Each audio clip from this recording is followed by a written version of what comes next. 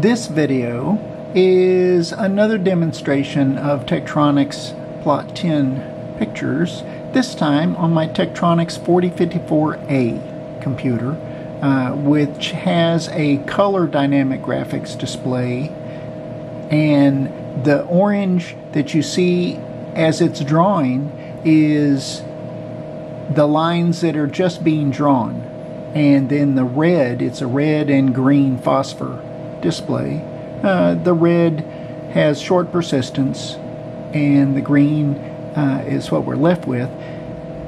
The drawing lines is substantially faster than the 4052 uh, and so that explains why each of these images, even though it's the exact same data, the images are being drawn quite a bit faster uh, than you saw in my previous video on my 4052. And so this is another G planet. This is the one in my first video, but there's a pause between drawing lines that is different than the first G planet in this video, which had much smaller block size. So I kind of like that one and I'll probably just remove the second one.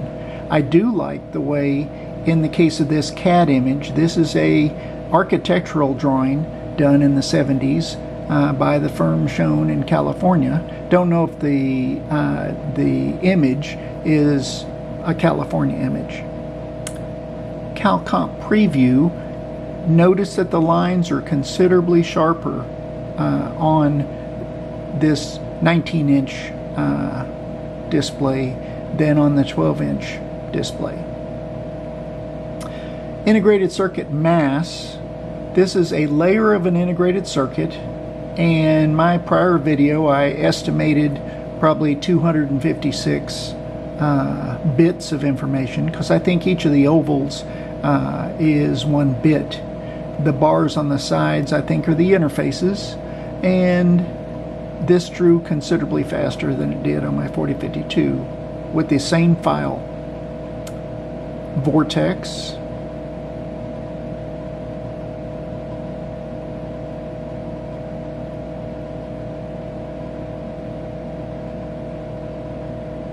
US map.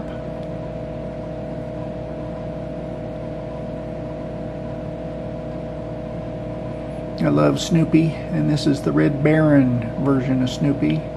Uh, uh, World War One fighter pilot.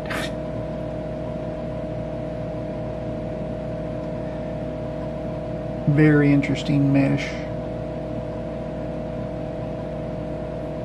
And then this is one of the demo files on the Chuck Forsberg video.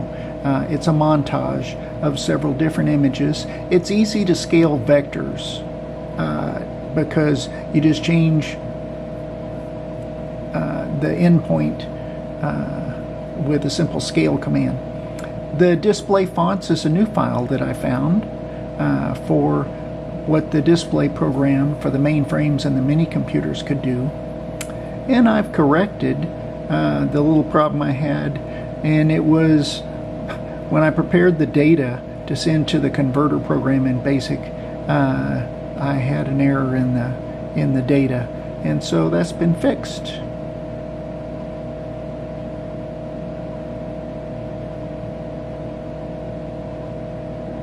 And the final demonstration is another display uh, demo file that was on Chuck Forsberg's website, uh, which is now uh, saved on archive.org.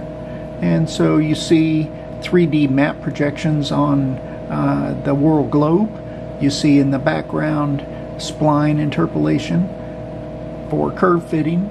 And in the foreground is a, uh, a 3D plot, a volume plot uh, of a function. Uh, so very, very interesting. Hope you enjoyed this video. And if you'd like to see more, uh, subscribe and you'll get notification when new videos are posted.